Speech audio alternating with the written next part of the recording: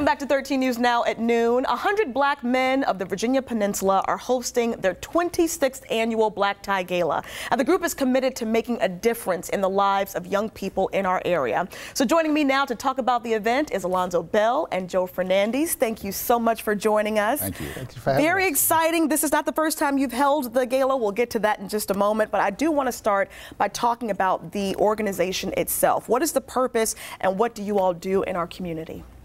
Thank you. So we are we are about uh, 60 men strong, and uh, our, our vision is to improve the community in general.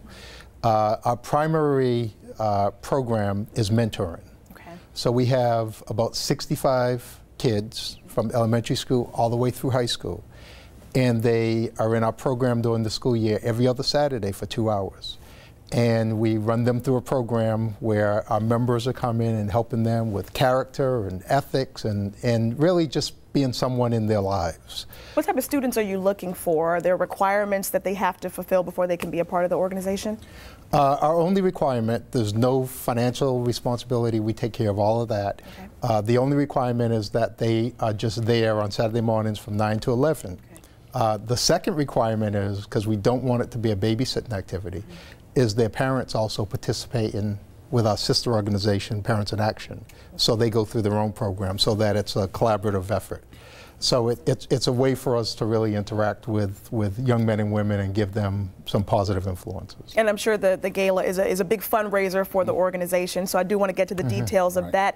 Give us information about it, what people need to know, and how they can contact you. Well, thank you very much. Yes. Yeah, our gala is indeed our chief fundraiser, and it's a, a big production for us. Uh, we, are honoring each year a role model, a trailblazer, and a humanitarian. This year we're honored to have Dr. Tommie Smith, who was a 1968 Olympic gold medalist in the 200 meter uh, run. Also, he's a very active uh, uh, health and fitness advocate on a worldwide stage. Our trailblazer is one of our own members, Julius Green Jr., who was Chief Warrant Officer in the in the Army. He's the second African American to complete Army diving school, and he's the first officer who was an African American in diving. and lastly, our humanitarian is Joni Ivey, who is the retired Chief of Staff of our Congressman Bobby Scott, and she's still very much active in the community. Another thing we do at our gala is we recognize our, our scholarship recipients.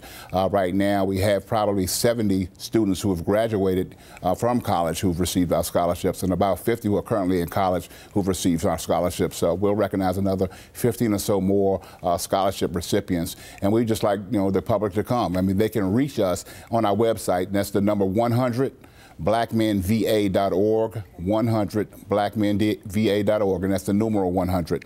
Or they might call me Alonzo at 592-3737. And again, Alonzo at 592-3737. We look forward to seeing them there. Thank you so much, Mr. Bell, Mr. Fernandez. Thank you so very much. Wish you the very best with the gala, and thank you for all you do in the community. Thank, thank you for you. having us. We'll be right back.